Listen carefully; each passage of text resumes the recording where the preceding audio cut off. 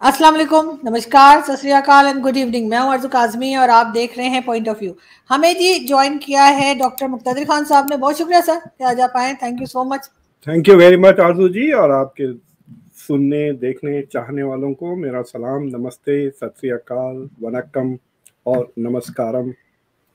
Sir बात तो हम करेंगे जो अमेरिका के प्रेसिडेंट इंडिया जा रहे हैं उनके ऊपर भी लेकिन उससे भी पहले इमरान खान साहब जो है वो जेल से उन्हें कहा गया कि जी रिहा कर दिया जाएगा और आ, उनका जो आ, अदालत में ने ये कहा कि जी वो जा सकते हैं रिहा हो सकते हैं और लेकिन उससे पहले कि खान साहब बाहर आते एक बार फिर वो साइफर केस के अंदर अंदर हो गए जबकि तोशा खाना केस जो है उसमें कहा गया था कि उनको रिहा किया जा रहा है। आप इमरान खान के फ्यूचर को कैसे देखते हैं आपके ख्याल से ये बात भी हमारे यहाँ की जा रही है कि शायद अब इमरान खान बाहर जाने को तैयार हो जाएँ तो शायद किसी और कंट्री में उनको जाने की परमिशन मिल जाए।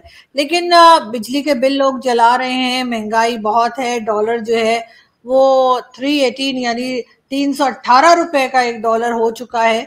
और जो बिजली है, जो इलेक्ट्रिसिटी है, वो हमारे यहाँ sixty five rupees per unit आ रही है और कहा यह जा रहा है कि next month ninety rupees per unit हो जाएगी। लोग खुदकुशियाँ कर रहे हैं। आपके ख्याल से ये क्या हो रहा है और ये संभाल पाएँगे? ये लोग जो गवर्नमेंट में है या एस्टेब्लिशमेंट में है या ऐसे ही चलता रहेगा? देखिए इमरान खान की पहली तो बात ये है कि मुझे लगता है कि ये इस्लामाबाद का जो कोर्ट है क्या इनका मैके का कोर्ट है जो हमेशा इनको रिलीफ दे देता है। So it is like saying कि यू कैन टेल कि कौन से कोर्ट में इनकी पेशी हो रही है उससे आप पहले ही डिसाइड कर ले सकते हैं कि यहाँ पे इनकी रिहाई होगी या नहीं होगी। सो दैट वाज सरप्राइजिंग और उसमें भी काफ़ी कंफ्यूजन था कि क्या चीज़ सस्पेंड हुई है? उनका सज़ा सस्पेंड हुई या जेल सस्पेंड हुई है या जो कन्विक्शन है उसको सस्पेंड किया? अगर उनको जेल से रिहा कर दिया अनाउंसमेंट वो है but is conviction still stand so वो एक कंफ्यूजन है। मैं देखा कि शहबाज शरीफ भी उस पर ट्वीट कर रहे हैं कि अलग अलग चीज़ें। दूसरी चीज़ ये है कि ये जो जो जो साइफर का जो केस है, वो स्पेशल कोर्ट में है। मेरे ख्याल say that is the court जहाँ से आर्मी डायरेक्ट कंट्रोल कर सकती है। And they will probably decide कि इनका फ्यूचर क्या होगा। एंड द फैक्ट कि उनको कोर्ट से रिलीफ मिलने के बावजूद भी उनको रिहा नहीं किया गया दैट शोज़ के they are probably not going to let him come out जब तक कि डील नहीं होती अगर इमरान खान मतलब आई एम श्योर कि अभी तक उनको प्रपोजल्स मिल गए होंगे कि आप कंट्री छोड़ के चले जाएँ वगैरह वगैरह। एंड नॉट ओनली दैट मेरे ख्याल से वहाँ जाने के बाद भी कुछ कंडीशंस होंगे कि you can not act like the chairman of Pakistan Tehreek Insaf from overseas you know वहाँ जाके ये गवर्नमेंट इन एग्जाइल बनाने के काबिल हैं ये। यू थिंक ऑफ़ इट अगर अभी तक नहीं सुने तो अब तो uh, मैंने तो कह दिया right so the idea will float around कि वो गवर्नमेंट इन एग्जाइल बना ले लंदन में बैठकर। So he could do a lot of tricks from there which will be troublesome और अब वैसे भी कुछ काम नहीं है उनको मतलब ऐसा नहीं कि रोजी रोटी कमाना है he is seventy years old अब ही कैन टाइम पास के लिए वो पंगे ले सकते हैं ना पाकिस्तान की फौज के साथ और जो भी गवर्नमेंट जीत के आते so he will be a trouble maker whether is here और देयर तो अब ये वही मतलब ये चाहेंगे कि ठीक है ये पॉलिटिक्स के बाहर हो जाए एग्जाइल में जाके कुछ भी कर ले थोड़ी देर के बाद वो ठंडा पड़ जाएगा सो so, मेरे ख्याल से what is going to happen is कि उनके सामने कोई प्रपोजल ऑलरेडी कर दिए होंगे या they are waiting for him मतलब अगर उनको बहुत ज़्यादा हम्म। तकलीफ़ हो रही है ना जेल में जो अगर आप थोड़ा रूमर मिल्स को अगर सोचें that he can't be without certain things तो अगर जेल में उनको बहुत ज़्यादा तकलीफ़ अगर हो रही है then he might he might make a proposal ठीक है, मैं चला जाता हूँ बाहर, या मैं विड्रॉ हो जाता हूँ पॉलिटिक्स में से या मैं पीटीआई को बंद I don't know what proposal he can make तो उसके बाद शायद कुछ अरेंजमेंट हो but I don't think he is coming back मतलब अगले इलेक्शन में he is not going to be a major force unless के फौज में कुछ एक मेजर कू हो जाए इंटरनल जब तक वो नहीं होता, जब तक फौज अगर आप देखें अब काफ़ी स्टेबल हो गया। बकवास से प्रेस कॉन्फ्रेंसेस नहीं कर रहा है कोई भी। You are not hearing number two number three number four के बयान नहीं आ रहे जैसा पहले आ रहे थे right so you can see के जब general Munir sahab has impose discipline on the army और वो एक आवाज़ से बोल रही है। So the military is kind of come back in its own तो मुझे नहीं लगता कि अनलेस कोई मेजर इवेंट हो फौज के अंदर Imran I don't think is coming back into politics और जहाँ तक कि आपके बिजली का जो सवाल है, वो तो आई हैड ऑलरेडी प्रिडिक्टेड कि आईएमएफ का फ़र्स्ट फ़ंक्शन ही ये होता है कि वो सब्सिडीज काटती है। आज जहाँ भी जाए आप, मुझे याद है, मैं जॉर्डन में वहाँ पे एक बहुत ही खूबसूरत मस्जिद है डाउनटाउन में। वहाँ नमाज़ पढ़ के निकला, इतनी धूम पत्थरबाजी चल रही थी। बिकॉज़ आईएमएफ ने रोटी पे सब्सिडीज निकलवा दिए थे जॉर्डन के। तो एकदम रोटी हम जो ब्रेड थी वो इतनी महँगी हो गई थी कि लोग प्रोटेस्ट कर रहे थे। That was my personal direct experience के आईएमएफ के साथ जो हुआ था। फिर मैं आके उसको काफ़ी देर I studied and I was surprise के जो गवर्नमेंट के पास पैसे जब खत्म हो जाते हैं IMF says how can you afford subsidies when you don't have the money वो सिंपल सी लॉजिक है। कर्जदार इट इज़ लाइक सेइंग आपने मुझसे पैसे बोरो किए या आप मुझसे पैसे मांगने आ रहे हैं सेइंग डॉक्टर खान साहब मुख्तजर मुझे आप ना एक साल के लिए दस हज़ार डॉलर का लोन दे और फिर मैं वापस कर दूँगा। आप मर्सिडीज में आ रहे हैं। मैं बोला ये मर्सिडीज क्यों अफोर्ड कर रहे हैं? आप पहले इसे बेचें फिर बाद में देखें। यू नो बाद में दस हज़ार में देता हूँ या ना देता हूँ। आप आ जाए नियॉन और टाटा की छोटी सी गाड़ी आती है ना वो ले लें and then we will talk so that is what IMF is saying कि पहले आप अपने खर्चे कम करो उसके बाद you will be able to pay back and one of the things they always go after is subsidies और दे डोंट केयर कि सब्सिडी कहते हो। अगर ये ब्रेड पे भी होती, दवाएँ पे भी होती ना, वो काट काटते ज़रूर है सब्सिडीज तो पता ये चला है कि आपके जो सबसे ज़्यादा बड़ा इंपोर्ट है, जो सबसे ज़्यादा आपका फॉरेन करेंसी कंज्यूम करता है, वो ऑयल एंड नेचुरल गैस जिसके बेसिस पे आप इलेक्ट्रिसिटी प्रोड्यूस करते हैं। तो दो चीज़ें हो गई है। एक आईएमएफ ने कहा कि सब्सिडी काटे।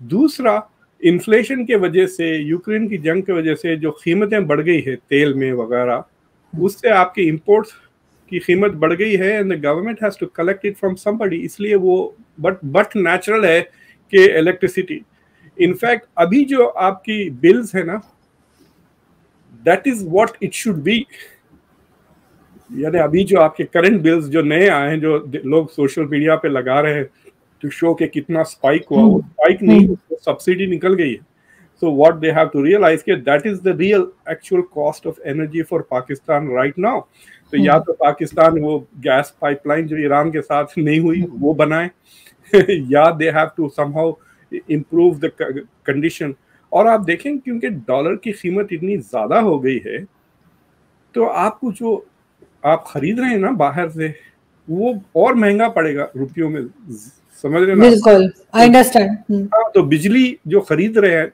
whether you buying it as natural gas which is converted to electricity या petrol gas regular petrol oil जो जिससे इलेक्ट्रिसिटी जनरेट हो रही।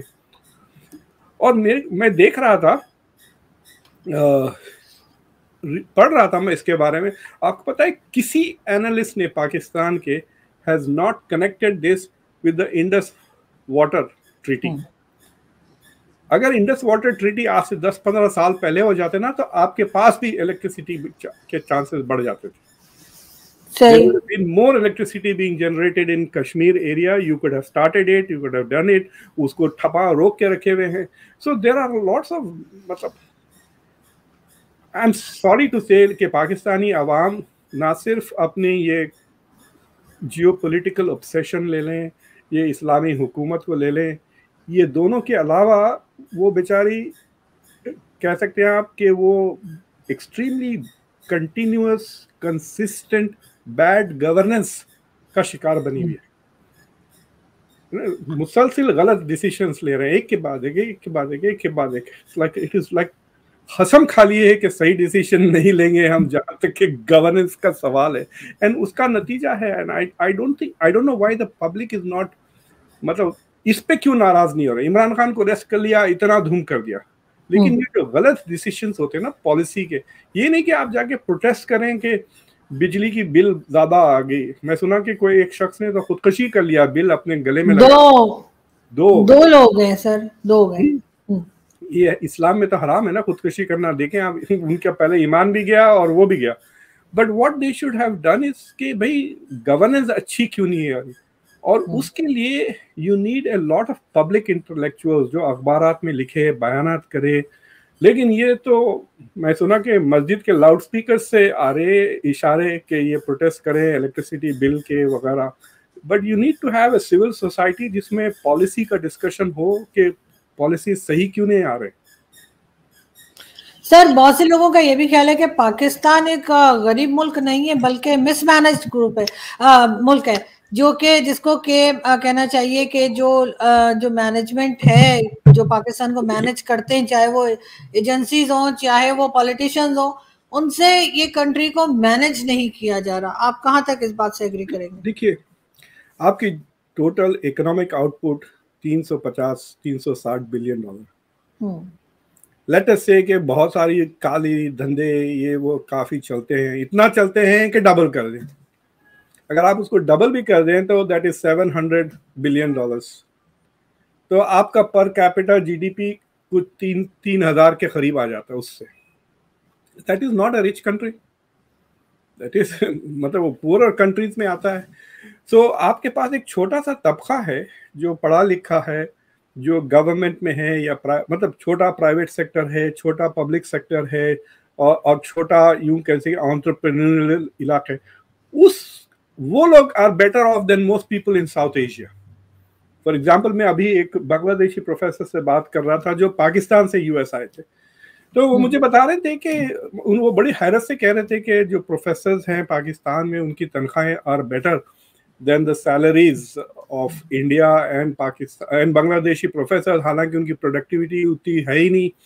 मतलब भी वो स्पेसिफिकली कह कर यूनिवर्सिटीज के नाम और प्रोफेसर के नाम लेके वो मज़ाक उड़ा रहे थे कि इन्होंने पिछले दस साल में कुछ लिखा नहीं है, लेकिन इन, ना सिर्फ़ इनको तनख्वाहें भी मिलती, ज़मीन भी बहुत देते हैं। सुना मैं प्रोफेसर को वगैरह सो दे आर मेकिंग बेगम को नाम पे भी एक ज़मीन मिल जाती है खुद के नाम पे ज़मीन।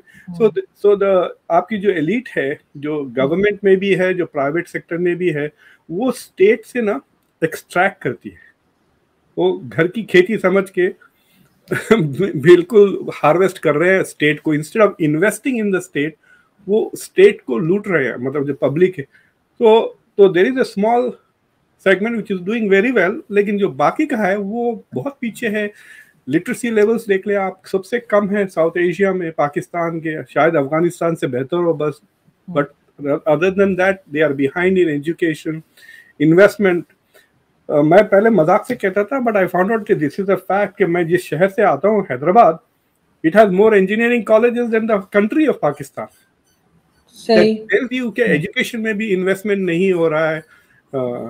और वो तो है सर बजट सबसे कम होता है एजुकेशन का बजट जो है वो सबसे कम रखा जाता है गवर्नमेंट की तरफ़ से। Can talk about it being rich अब अब हम मैं जिस शहर में रहता हूँ तकरीबन पौने दो परसेंट पीएचडी से शहर की आबादी। हम्म। और हाँ और nearly forty five percent college degree holders है। यानी हर दूसरा बंदा कॉलेज पास है तो आप देख लें that's that is a rich country ना, जहाँ पे इन्वेस्टमेंट हुआ है कॉलेज में लाइफ एक्सपेक्टेंसी देख लें आप, या पर कैपिटा इनकम सत्तर हज़ार से ज़्यादा है, यहाँ डेलावेयर की तो उससे भी ज़्यादा है अमेरिका की एवरेज सेवेंटी थाउज़ेंड हो गई है। So I I don't think the country is rich the country can be better off इसमें कोई शक की बात नहीं है। और इट्स लाइक सेइंग कि आप पिछले 1980 से आप सेल्फ गोल पे सेल्फ गोल कर रहे हैं। अब स्कोर कार्ड देख रहे हैं कि अरे भाई 50 ज़ीरो डाउन है। ज़ाहिर है आप खुद ही अपने गोल मार रहे हो right this country is not just बात मुल्क ऐसे हैं जो ट्राई कर रहे हैं और स्ट्रगल जैसा इंडिया सेवेंटीज एटीज नाइन्टीज में वॉज़ ट्राइंग वेरी हार्ड अब तीन चार परसेंट तीन चार परसेंट से ग्रोथ हो रही थी। मॉडल गलत था बहुत ज़्यादा सोशलिज्म था वगैरह। बट आपके पास वैसा नहीं है। You are doing well and then people started messing with it तो वहाँ से मिसमैनेजमेंट करप्शन लूटमार आ गया and then it went back so I think आपकी leadership is your biggest problem sir सिर्फ़ लीडरशिप की बात नहीं है। लीडरशिप तो है ही लेकिन साथ साथ आप जानते हैं कि हमारे यहाँ जो है वो मुल्क को चलाता कौन है? ऑब्वियसली uh, उन लोगों की तरफ़ भी जो है कुछ ना कुछ रिस्पॉन्सिबिलिटी बनती है। सर uh, साथ ही हम अगर बात करें अमेरिका की और इंडिया की तो अमेरिकन प्रेसिडेंट जो है वो इंडिया विज़िट करेंगे। आपके ख्याल से कितना इम्पोर्टेंट है ये विज़िट और uh, क्या कुछ अचीव किया जा सकता है दोनों कंट्रीज़ के लिए? हाँ बड़े मियाँ जा रहे हैं। थक जाएँगे इतनी लंबी फ़्लाइट है। Is going on a long trip मतलब वो पहले इंडिया जाएँगे फिर वहाँ से वियतनाम जाएँगे। पर बस गिरे नहीं बस, बस गिरे गिरे ना वो गिरते पड़ते बहुत हैं वो। और फिर वहाँ से he is going to go to Alaska September 11th वो अलास्का में हम्म। मनाएँगे। वहाँ पे शायद तकरीर देंगे सितंबर 11 की। यानी पूरा गोल फिर के आ रहे हैं उस ज़मीन के। Is going to perform a full around the world इस तरह जाएँगे इंडिया फिर वियतनाम फिर गोल फिर के अलास्का फिर वापस आ जाएँगे। तो तवाफ कर रहे हैं पूरे प्लानट का। See it's an important meeting इसमें कोई शक की बात नहीं है। अब ये है कि आई होप के इंडिया के जो देखिए ये कॉन्फ्रेंस से पहले शेरपाज बोल के एक चीज़ होती है। तो शेरपाज होते हैं वेर दे नेगोशिएट के कॉन्फ्रेंस का एजेंडा क्या होगा। आ, मेरे ख्याल से कमी फाइनल कम्युनिके का भी एक छोटा मोटा फ़र्स्ट ड्राफ्ट लिख लिया भी होगा। And they will go back and forth India के लिए ये बहुत अहम है कि जी ट्वेंटी में कंसेंसस हो और एक कंसेंशुअल कम्युनिके निकले। दोनों बड़े मीटिंग्स जो पहले हो चुके हैं फॉरेन मिनिस्टर्स की, अगर आपको याद है फाइनेंस मिनिस्टर्स की, दोनों में कंसेंसस नहीं आया तो तो बेसिकली इंडिया है टू इश्यू के चेयरमैन की जो रिपोर्ट होती है working report so in a way it says meeting has failed So India is under a lot of pressure, and India is putting a lot of pressure, I think, to to get a, a consensus. अब चक्कर ये है कि इसमें spoilers जो है Russia तो spoil करेगा ही करेगा। It's not going to agree for any negative comment about Russia Ukraine को लेकर। तो एंड आई एंड मेरे ख्याल से इंडिया को ये भी समझना चाहिए कि Russia cannot take a statement like that तो अब India is probably going to try with America and say भाई, आप जो भी स्टेटमेंट यूक्रेन का, आप उसको ऐसा ना ना ड्राफ्ट करें ताकि वो पूरी तरह से फोर्सेस चाइना एंड रशिया दोनों के वो ना खेलें. So that is the diplomatic challenge कि अमेरिका और वेस्ट जितना सख्त स्टेटमेंट चाहेंगे यूक्रेन को, उसकी थोड़ी सख्ती कम करे। और रशिया को बोले थोड़ी सहनशीलता कहते हैं इसे इंग्लिश में हिंदी में सहनशीलता। अब वेस्टर्न बुलशिट के लिए थोड़ा टॉलरेंस बढ़ा ले रशिया एंड कम्युनिके आ जाएगा। So that is what India diplomatic challenge है कि अमेरिका का थोड़ा लैंग्वेज सॉफ्ट करे रशिया की थोड़ी एक्सेप्टेंस बढ़ाए एंड दे विल हैव अब ये बात और है कि वहाँ पे बायलैटरल्स क्या होते हैं? That is the key that second more important कि बाइलैटरल्स जी जिपिंग और बाइडन की होती या नहीं आपको याद है पिछले चार पाँच महीने से मुसलसिल यू नो वो आपको याद है लड़कियों के वो साइकिल पंक्चर का जो बच्चा काम नहीं करता? जी जी। वो बच्चे को लेटर देते जाओ जाओ उनको देख के आओ यास्मीन को देख कर आओ कहते ये लो दो रुपए। वो चिट्ठिया ऊपर भी जाते थे मोहल्लों में। फोर्टी सेवन से पहले होता होगा सर जी हाँ तो रोमांस में वो आप हम्म। नौकरानी के थ्रू भी जाते थे। तो उस तरह से पहले ब्लिंकन गए फिर येलन गई जैनेट येलन अब रॉयमोंडो जो कॉमर्स के वो अभी इसलिए इस पिछले हफ़्ते हम्म। वो बेजिंग जाके आई।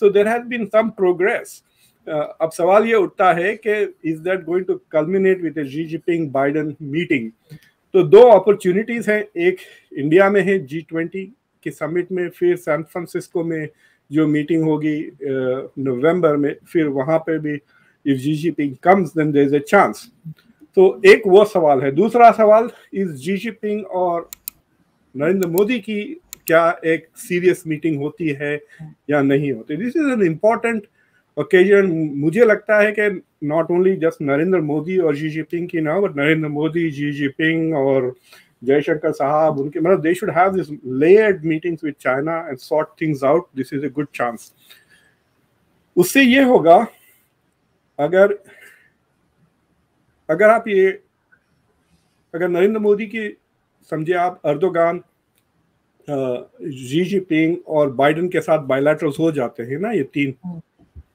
तो उसकी इतनी हाइप रहेगी कि कम्युनिके अगर आया है ना आया तो भी पता नहीं चलेगा। People will not notice because they will be talking about this so I think Indian diplomat should be working towards getting जितना हाई लेवल के बायोलैटरल्स और जितने ज़्यादा हो सके वो अरेंज कर लें। मैक्रॉन भी होंगे शूज़ भी होंगे जापान के यू नो कुशीडा भी होंगे। एंड द अदर इज़ के how to manage Russia China का क्योंकि west is obsessed with Ukraine वो यूक्रेन को छोड़ेंगे नहीं मतलब यूक्रेन यूक्रेन यूक्रेन करेंगे। मैं तो कहता हूँ कि जरा प्लेन भी चेक करें बाइडन का लैंड होते हैं कहीं उसमें जिलेंस्की छुपा के ना लेके आ जाए वो जिलेंस्की को जो बाइडन अपने सूट लेकिन सर बहुत लंबी हो गई इनकी कहानी यूक्रेन और रशिया की। मेरा तो ख्याल था कुछ दिनों में शायद ये मामला जो है ये हैंडल हो जाएगा लेकिन नहीं हो पाया। इनकी एक्सपेक्टेशंस ये थी कि हमने जो हथियार दिए जो सैंक्शंस वगैरह किए हम्म। हैं रशिया पर एक रशिया की इकोनॉमी क्रम्बल हो जाएगी दूसरा काउंटर ऑफेंसिव यूक्रेन इतनी पिटाई कर देगा रशिया की कि पुतिन अपनी रिजीम बचाने के लिए विल नेगोशिएट तो, उल्टा बैकफायर हो गया है एक मुझे याद नहीं है अगर आप गूगल करें पिछले एक दो दिन में हाँ। एक किताब छपी है जर्मनी में। जिसमें जो जर्मन के फॉरेन मिनिस्टर बिल्कुल अपना फ्रस्ट्रेशन इजहार कर रही है कि रशिया की इकोनॉमी कोलैप्स नहीं है उल्टा ग्रो हो रही है। और वो कहने के लिए क्वेश्चन हो don't count it it's not important ये वॉर टाइम इकोनॉमी है हथियार बना रहे हैं इसलिए हम्म। वो इकोनॉमी ग्रो हो रही है। So the west is frustrated with the fact कि रशियन इकोनॉमी कोलैप्स नहीं हुई। हम्म। और दूसरी चीज़ ये है कि वो ऑफेंसिव तो काय का ऑफेंसिव कुछ भी नहीं हुआ उसकी तो अच्छी खासी मतलब इनके जितने भी वेपन्स इन्होंने दिए थे वो सारे के सारे थर्टी फोर्टी परसेंट डिस्ट्रॉय कर दिया रशिया। कैजुअलिटीज काफ़ी ले लिए यूक्रेन वो कैजुअलिटीज लेने की वजह से खुद यूक्रेनियन सोसाइटी में अब मोरल डाउन होने लगा है। ये जो काउंटर ऑफेंसिव जो फेल हो रहा है हम्म।